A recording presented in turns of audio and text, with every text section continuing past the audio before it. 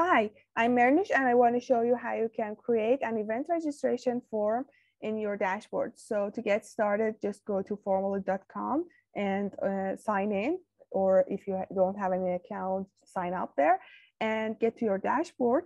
Uh, you can start by templates, which are ready to use. You can get to events and exhibitions, or you can start from scratch. So let's start from scratch and create a blank form.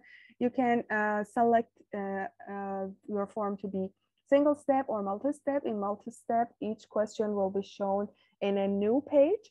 So let's just, for the sake of this video, select multi-step um, and uh, let's choose a title here, register our event.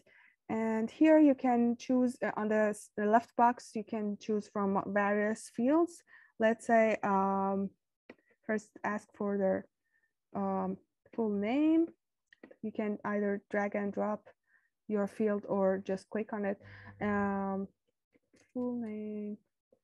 Now you can make it required so the user uh, is um,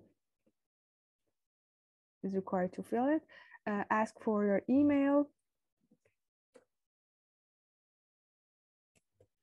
And uh, yeah, let's make it required too. Let us do these. And um, let's say we want to um, uh, ask them, uh, why do you want to attend this event?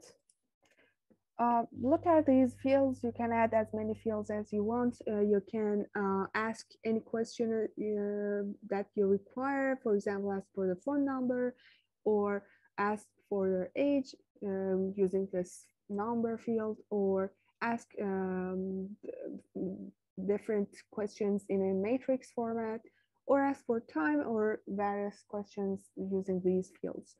So I think all of them are helpful in different situations. Uh, let's say uh, for the submit text button, we'll say submit.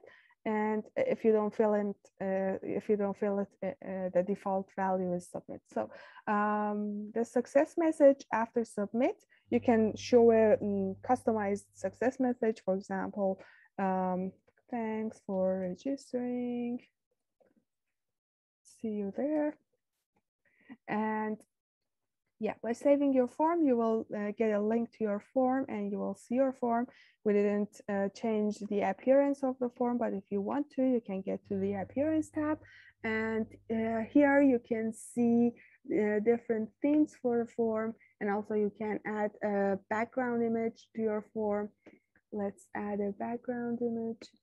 Let's see, for example, this one. And I will add uh, shadow on my background so the text is more visible. So uh, you can also add, uh, change the transparency of your uh, shadow. And uh, yeah, so uh, you can also change the colors from here. And you can opt into hide the form title, which is this. Uh, the form title will be visible in your dashboard. Uh, you can recognize your form here but uh, you may want to change, uh, you, may, you may want to um, have it just for yourself.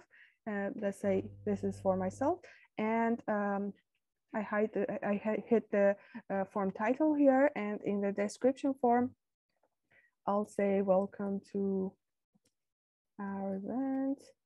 I'll make it center, uh, get to the center and um, register to the event by filling out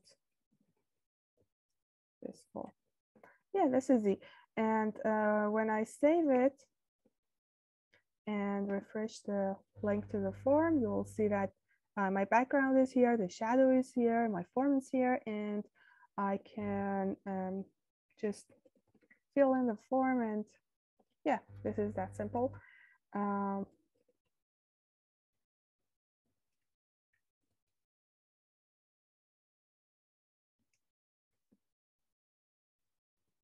yeah, And this is my customized um, success message. Yeah, uh, so this is uh, how you can build a form from scratch for your event registration. And I hope it was helpful. If you have any questions, you can comment down below or get to our website and uh, use the widget um, which is under the website and you can ask any question there. So if I hope it was helpful and uh, bye for now.